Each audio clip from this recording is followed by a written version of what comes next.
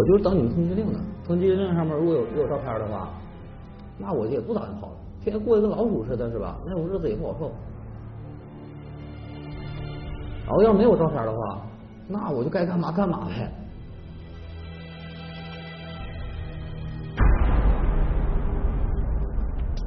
这是位于牡丹江市东小四条路的一处老旧的小区，在这个小区二单元的七层，住着三个十九岁的姑娘，他们是小雨、小米和小梦。他们三人是护校的同班同学，毕业之后，他们在这座城市的三家医院分别找到了工作。因为他们三个人的家都在外地，平时呢又十分的要好，于是他们三个人一起租下了这套房子。二零一三年的十二月十四号是个星期六，这一天小雨一夜未归，第二天早上六点钟他才回到家。平时除了值夜班，小雨不会一夜不回家的。而这个晚上，他同几个朋友一起吃饭、唱歌、打牌，整整玩了一个晚上。而恰好是小雨的这个夜不归宿，才使得他成为了一宗命案的幸存者。这是一起什么样的命案？小雨和这宗案件又有着怎样的关联？聚焦一线，直击现场。年轻护士遭遇无情杀手。充满玄机的指挥，意味深长的水杯，来访的客人究竟是谁？我们当时也画个问号。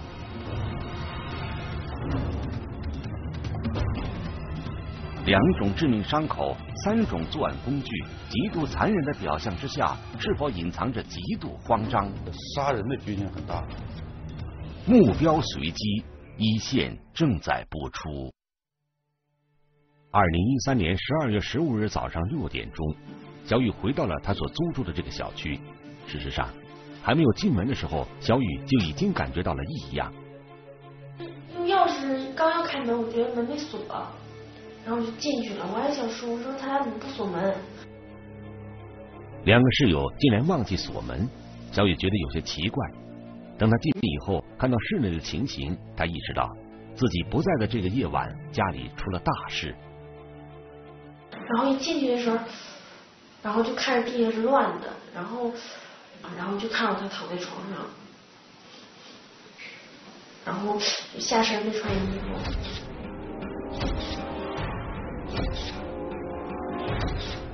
当时就寻思是家进人了。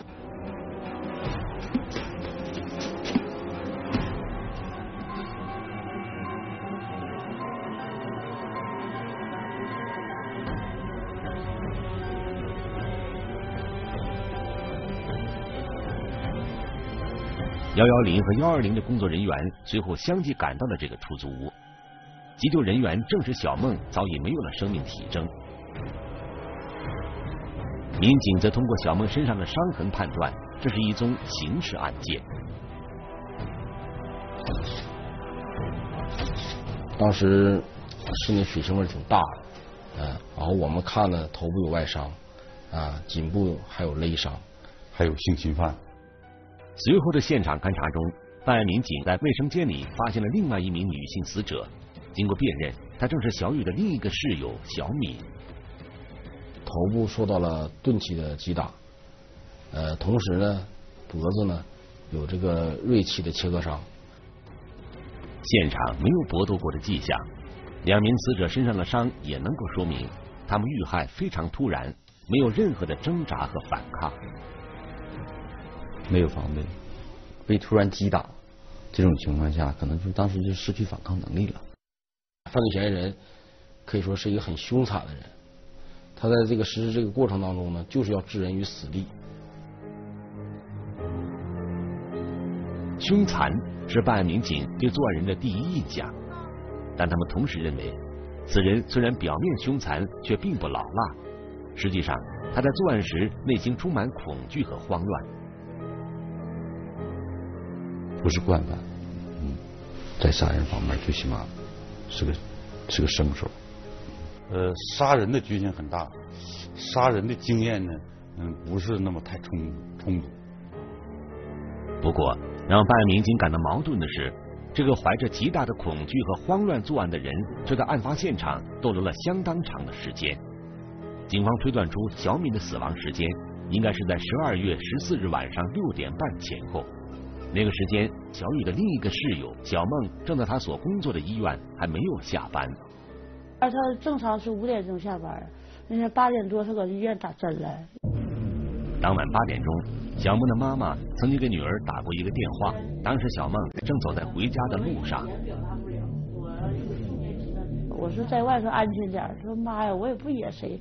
我说你这么大了也不用关心，就是说妈我下班了，我回寝室了。母女俩在电话里聊了几分钟，快上楼的时候才挂了电话。做母亲的怎么也没有想到，那竟然是她最后一次听到女儿的声音。买饭我都听见了，嗯，孩子还没捞着吃饭呢，就给孩子。嗯，失去女儿太痛苦了。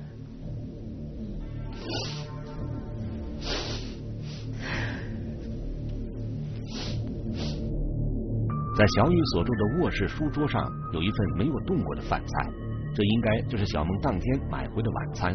其中一份饮料已经被人喝光。被害人吗？这小梦和小敏的手机在案发后不知去向，而小雨放在房间的五百元现金也被人拿走，这使得专案组倾向于认为这是一宗以抢劫为目的的杀人案件。但是如果凶手以抢劫为目的，他为什么会盯上这几个刚刚毕业没多久、并没有多少财物的女孩子呢？在现场勘查的时候，地面上的一处灰烬曾经引起过技术人员的特别注意。这是一张烧过的纸，在纸的附近有一根烟头。警方分析，这应该是犯罪嫌疑人所留。我们当时也画个问号。为什么要烧一张纸？呃，焚烧的这是个什么东西？想隐瞒什么事实？同样让人不解的是，客厅茶几上的几个水杯，杯子里有没喝完的水，看上去家里曾来过什么需要招待的客人。原先的嗯物品摆放不是这样摆放的，那么他现在这么摆放之后呢，就是感觉到多少人到过现场？是不是熟人呢？是朋友？还是什么人？报案人小雨和两名死者是大学同学，又同住在一个寝室里。毕业之后一起租房子，相互之间可以说是非常了解的。那么，如果犯罪嫌疑人是熟人的话，小雨也应该认识这个人。据小雨回忆，十二月十四号这一天，家中的确是来过一个人，可是这个人他并不认识。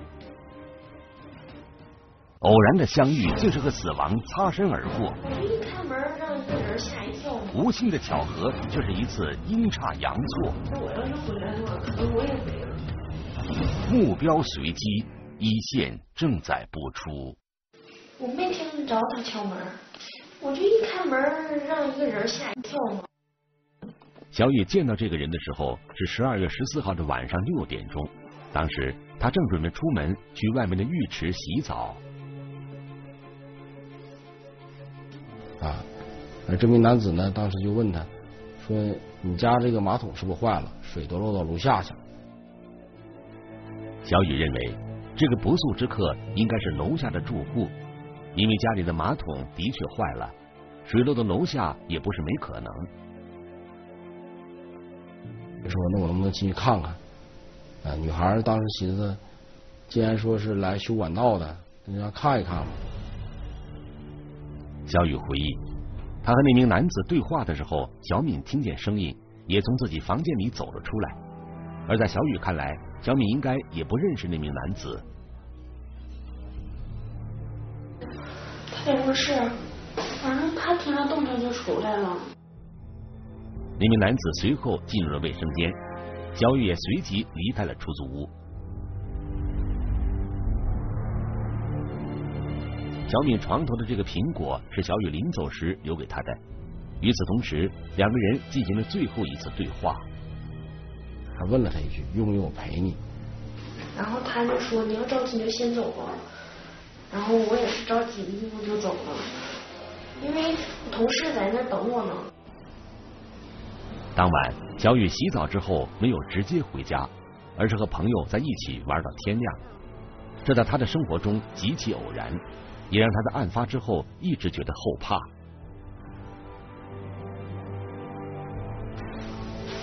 我就总感觉说，当天晚上我要是回来的话，可能我也没了。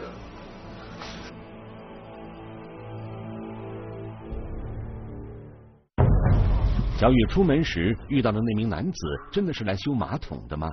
他会不会是制造了这起命案的犯罪嫌疑人呢？他怎么会盯上三个姑娘居住的这间出租房？又为什么一定要将两个女孩置于死地呢？由于小雨当天只是和那名男子打了个照面，他并没有记住那个人的体貌特征。故意呀，我着急往出走，然后就急忙就走，根本就没有没注意这些事儿。我唯一记住就是瘦。那么这个人呢，一米七十五六，嗯呃三十岁左右，那么嗯青年的男性。案件最终被定性为以抢劫为目的的强奸杀人案件。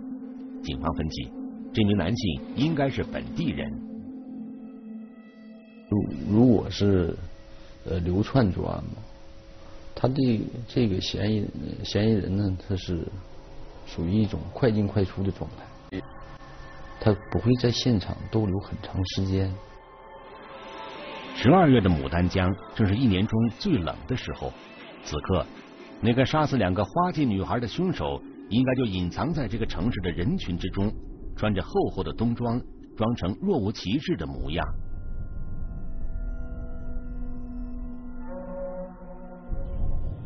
向市民征集破案线索的悬赏通告。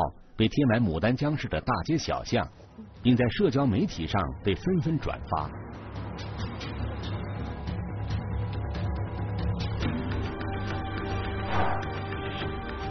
与此同时，警方调取了案发时段小区附近的所有的监控录像，对符合体貌特征的人形进行视频追踪。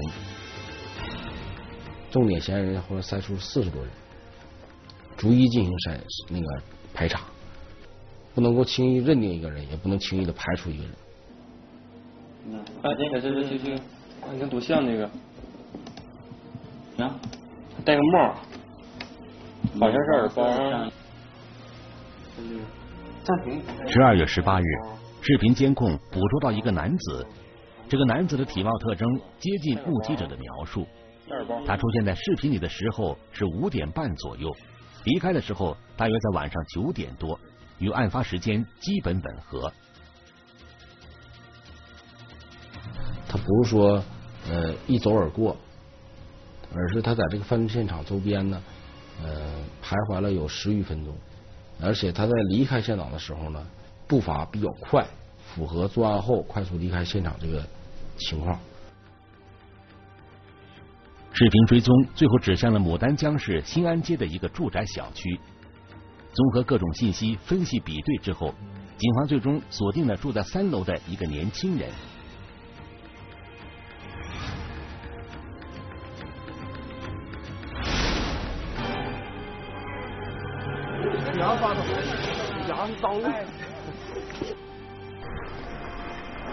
他叫戴成林，十九岁，此前一直在大连打工，案发前三天刚刚回到牡丹江。在简单的询问后，民警觉得这个年轻人十分可疑。他呢说了一些不挨边际的话，嗯，我审查我这么一个人，你们用着这么多人呢，啊，包括我没有前科可记啊。全程有指纹吗？我留下了吗？他既害怕，还并有一种侥幸心理。啊，能够逃脱。你懂什么是社会经历吗？你解释一下。简历就是你从几岁到几岁上的学？不知道几岁上学，我就知道我是初中念一个月在下边。对于警方的询问，戴成林有问必答，但民警发现，在关键的问题上他说了话。那主要呢，他着装有变化，他穿了一双新鞋、新衣服、新裤子。他身上穿的是一件黑色的小棉服。啊，而我们询问他案发当天所穿的衣服时呢，他回答的时候是我就穿着身上这套衣服。而我们在调取网吧监控录像的时候发现呢，他在案发当天穿的是一件黄色的小棉服，换新鞋了，谁给他买的？在这个问题上他说不清楚。本人叙述是他的叔叔，就是也就是他母亲的对象给他买的。我大娘回来，穿鞋在这儿跑，我买双鞋去。我听非要说他给我他给我买，那去呗。当我们把他母亲和他母亲的对象都找到位置的时候呢，嗯，结果这个与他交代的不一样啊，他叔叔否认，他们也在支支吾吾、遮遮掩掩，嗯，包括让他拿出他换换掉的衣服的时候呢，拿不出来，嗯，让他母亲回家求呢，也答不出来。这小子非常偏激的性格，性格非常偏激。我们现在关键主要这两个事儿，一个是对他家的搜查，再一个是对于血衣工具，呃，赃物就是手衣的查找。换衣服换鞋，这是再平常不过的生活小事了。但戴成林和他的母亲，偏偏要在这样的平常问题上撒谎。一个问心无愧的人，为什么要说谎？还是他们要掩盖什么不可告人的秘密？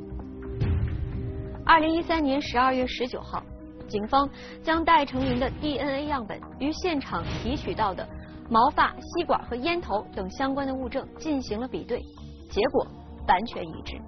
戴成林就是杀害了两名年轻女孩的犯罪嫌疑人，而这宗命案的最初目的就是为了抢劫。两部手机和不到一千元的现金。是戴成林杀害了两名女孩之后，从出租屋内获得的全部财物。是什么造就了他的冷血残忍？你好意思上位吗？是什么让恶念在他心底萌芽生根？他不是说诚心想要杀这个。目标随机，一线正在播出。好，记，你得自己得心灵上有点忏悔，是不是？你得你是人，你不是牲口，你还认识不到这事儿？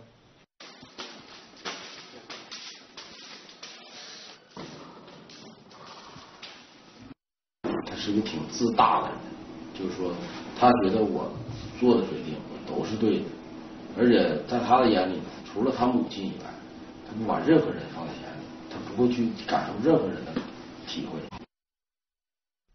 自大冷漠表现在戴成林在犯罪现场留下的每一处痕迹上。二零一三年十二月十四日的晚上，戴成林怀揣着一把从五金店买来的锤子，走进了这个小区。他来到七楼，试图敲开小雨、小梦和小敏所住的这间房门。这一刻，他已经做好了抢劫的准备。目标随机选呗，选的是楼层比较偏僻的、小区比较偏僻的顶层，亮灯的。在敲门之前，戴成林并不知道这间房子里住着什么人，但他已经做好了两种预案。对啊，第一套就是说开门不管谁一锤子，第二套就是说我就装修修管道的。你好，就是说你家楼下漏水，楼上漏水，检查一下管道，里边蹲着听多少人，可以动手就动手，偷袭。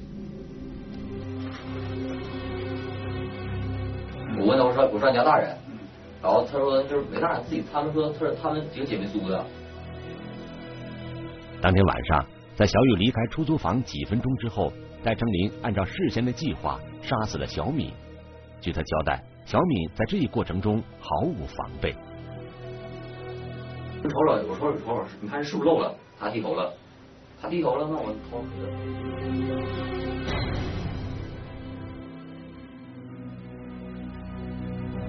几分钟之内，戴成林轻而易举的夺走了一个十九岁女孩的生命。而戴成林则将他的这个行动轻描淡写的总结为一次心血来潮。这个方便面。这就是心血来潮。早上睁眼，应该是早上睁眼睛，一天睡醒睁眼睛。第一个念头是什么？杀人杀呃不对是抢劫，杀人灭口。抢劫的原因是因为没钱。此时戴成林刚刚回到牡丹江，还不到三天。他已经花掉了身上所有的钱。兜里兜里还有呢，还有五十两钱。怎么花的？怎么花的？忘了，稀里糊涂玩点。上哪玩了都？就那么大点胡子，找不着。啊，找后去酒吧喝的。打锅十多少钱？五百块钱。上酒吧，上哪个酒吧？不懂，没记住。他要没钱了，你也不知道省着点吧？钱是赚的，他也不是省出来的。有赚钱的办法吗？过完年不就，哎呦我去，那招不多是啊，就看你想不想罢了。那他根本就不用想。自称赚钱办法很多，但是在没钱的时候，戴成林所能想到的办法却只有抢劫一种，而这曾是戴成林的母亲郝丽华最担心的一件事。因为他爸就是蹲监狱的，你知道吧？他爸已经判了十多年出来的。我咱也咱家里有这样的情况下，咱尽量别做那违法的事儿。戴成林四岁时，他的父亲因为抢劫被判刑十一年，而这些年来，母亲郝丽华最害怕的就是儿子会因此而受到不好的影响，走上犯罪的道路。我一个女人哈，离婚这么多年，带的挺不容易的。我就希望，我就一直告诉他，犯法事咱别干。哪怕咱没有钱，再少花点。二零一三年春天，戴成林在舅舅的安排下去了大连一家门窗厂打工，扣除基本生活费，每个月工资有两千多元。因为担心儿子缺钱，郝丽华会不定期的给戴成林再寄一部分零花钱。咱不是各个月吧，只要他打电话告诉我妈钱没开没花没了，没到开支的时候，我尽量我不花我都给他邮个三百五百的，我尽量满足，就怕他。搁外面钱不够了，搁外面学坏什么的？这是戴成林二零一三年十二月十二日发在网络空间里的一张照片。当天，他在自己的床上睡到自然醒，言语之间充满惬意。仅仅是两天之后，在同一张床上醒来的戴成林已经萌生了杀人越货的想法，而他的内心变化，做母亲的没有丝毫察觉。也没发现，因为我天天我上班，晚上回来我们就说说话，吃完饭收拾完屋就睡觉了，也交流时间很少的一天。没钱了也没想着跟你妈提一下。你好意思张嘴吗？换你，你好意思张嘴？外边外边待一年干年活，钱哪去了？你好意思张嘴吗？你很要面子。算是吧。二零一三年十二月。在戴成林被刑事拘留之后不久，有人来到看守所为戴成林存了一笔伙食费。据办案民警了解，那个存钱的人就是戴成林的父亲。问给他存钱这个人是谁的时候，他说他不认识。他经过我们后续了解呢，给他存钱这个人的这个名字就是他父亲的名字。没想过会是你爸？可拉倒吧，他要给我存钱，那就是看我笑话来了。你们俩有过这种互相看笑话的这种敌意吗？那谁知道他怎么心思的呢？他自述的，嗯，瞧不起他父亲。提到他父亲的时候呢，反感非常大。啊，不要提他。为什么那么瞧不起你爸？没瞧不起他。你瞧不起陌生人有用吗？当我回想到过去的往事，心是酸痛的。当我想到“爸爸妈妈”这两个词的时候，心是麻麻的。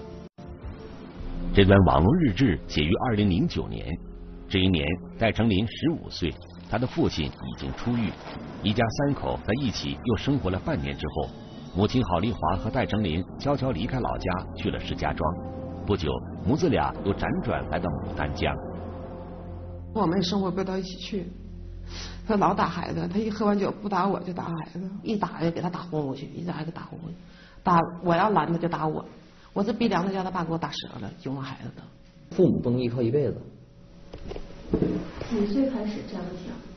从我爷爷打我那次。爷爷打你？嗯。因为什么会打你？忘了，从我从把我从炕上踹到地上。他不知道什么原因，但是这个。画面呢，就定格在他脑海当中。他说，他是记忆恨他爷爷一辈子。暴力是戴成林憎恨父亲甚至爷爷的主要原因，但是在戴成林日渐长大的过程中，暴力却也成为了戴成林解决问题的方式。因为大老师学校不要我，我学校应该停了。初中时候当老师，那老师欺负人我揍他，惯他。你们家孩子有这种暴力的倾向吗？就是爱在外边跟人家动手啊？没有，从来没打过仗，俺家孩子都完了。小时候也没。小时候没有。戴成林呢，从小到大经常打仗，把很多人家的孩子都打坏了，而母亲没有对他进行过教育。相反呢，他母亲还会和人家被打的家长争得面红耳赤，给他儿子争争道理去，认为他儿子做的对。再是俺家孩子现在吧，咋说呢？他心里头肯定是有疾病，因为他跳楼那年嘛，我就忽略了，我就应该去看心理医生，那个时候，他心里一直积压了一股仇恨，就是对他爸，对他爷爷他们家。戴成林跳楼的事发生在二零一零年七月的一个深夜。那起事件在警方的接警记录中被记载为一次意外失足。当天，戴成林从八楼阳台上跳下去，摔成重伤。而直到幺幺零民警来到家中，母亲郝丽华才发现儿子不见了。你说我这一生这一辈子就为了你。你为什么要死呀？当时我就问他，他说我也不知道，一抬腿他就迈下去了。他迈的时候，我说那有啥感觉？他说啥感觉没有，就感觉到看到天星星，后来就不知道了。或许我变了，小时候心地善良的我不知道哪去了。人说我狼心狗肺，如果我的生父出现在我的面前，我会拼了命的去杀了他，因为我恨他。据戴成林的亲属讲。对于以前打孩子的行为，戴成林的父亲也一度非常后悔，也曾试图想要缓和一下父子关系，但是戴成林拒绝与父亲讲和。拿刀就就要砍他爸，完我哥懒得把我哥手都打坏了嘛，完他爸就就从兜里给我拿出来，知道多少钱？大概就这么厚一沓，几千块钱吧。托那给孩子三头买点衣服，买点啥吧。那孩子看着我要借钱，就就说我嘛，妈，你要敢借钱，我跟你俩断交。爸爸在我眼里只是个词，什么意思？他只是个词，在我在在我眼里边。他说我爸太笨了，嗯，这个抢劫还能让别人被别人指认了。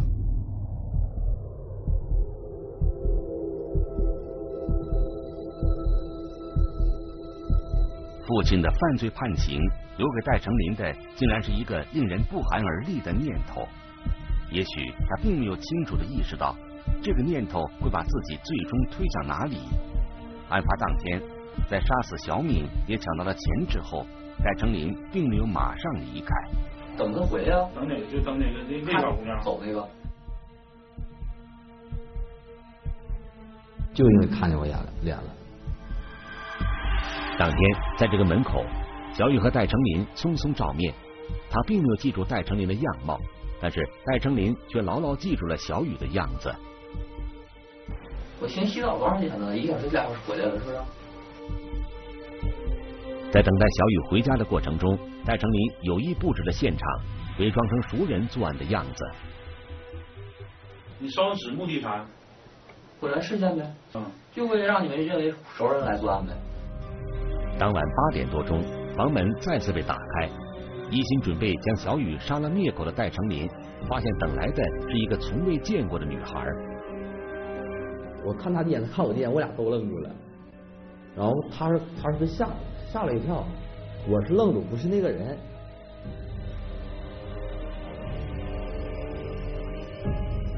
这是护士知道。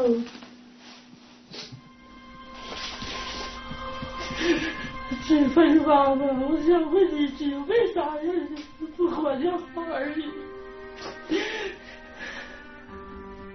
人家也是孩子，人家招你惹你了。现在我为人家的父母也感到挺挺道歉的，你知道吧？人家养那么大孩子也不容易，干嘛要杀人家呀？二零一三年十二月十四日晚上，郝丽华曾接到过儿子打来的电话。那个电话曾让他隐约感到有些不安。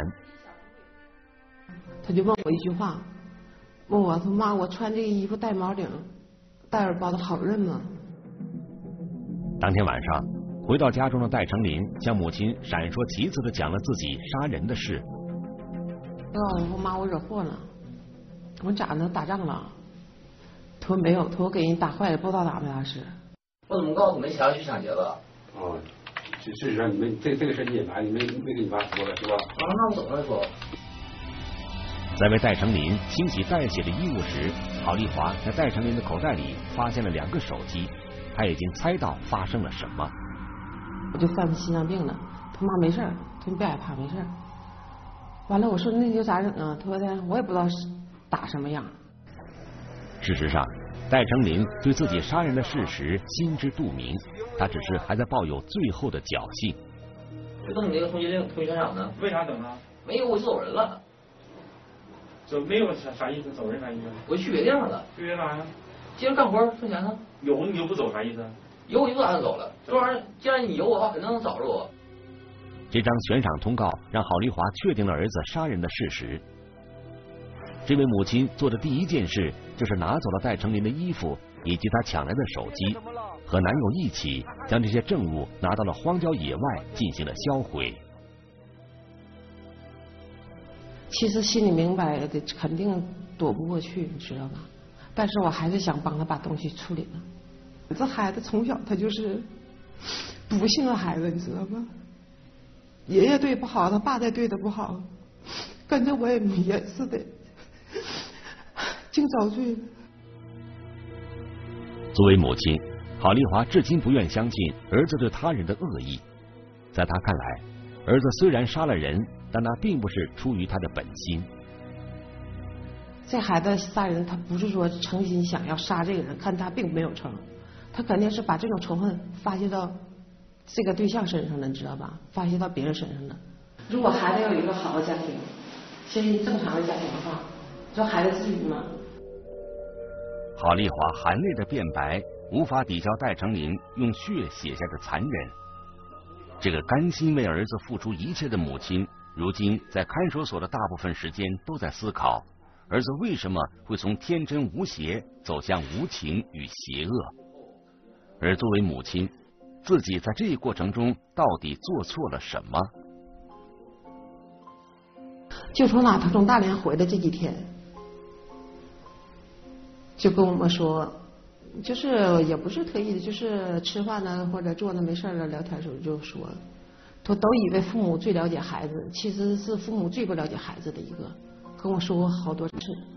就是父母呢，应该帮助自己的孩子树立正确的人生观、价值观和生命价值观，让他们对生命有所敬畏。呃，孩子当出现这个心理偏激、心理心态不正常的时候，怎么怎么引导孩子，怎么宽容做人，道德品质怎么培养，方方面面，成人很重要。长大成人嘛，长大了，但他没有成人。这就是十九岁的年轻人戴成林的故事。在这个故事中，戴成林残忍、冷漠、无视生命。从不认错，也不肯原谅。这是他网络空间的主页，在他十九岁生日那一天，他这样写道：“我才十九岁啊！昨天晚上，一群奔四的老家伙，居然说我一个十九岁的毛头小子，满是沧桑感，稚嫩却仿佛历尽沧桑。这就是戴成林在别人眼中的印象。这个十九岁的年轻人。”他自认为看透了世间百态，对于生命、金钱以及亲情和如何对待这个世界，他总结出了自己的一套逻辑。但很遗憾，他不知道自己的逻辑并不正确。这个空间的标题叫我好冷，正是这个标题让我们为这个年轻人感到遗憾，因为这句我好冷，恰恰说明在他人生的某个时刻。他曾经非常迫切的渴望得到温暖。这里是一线，我是陆晨，明天同一时间再见。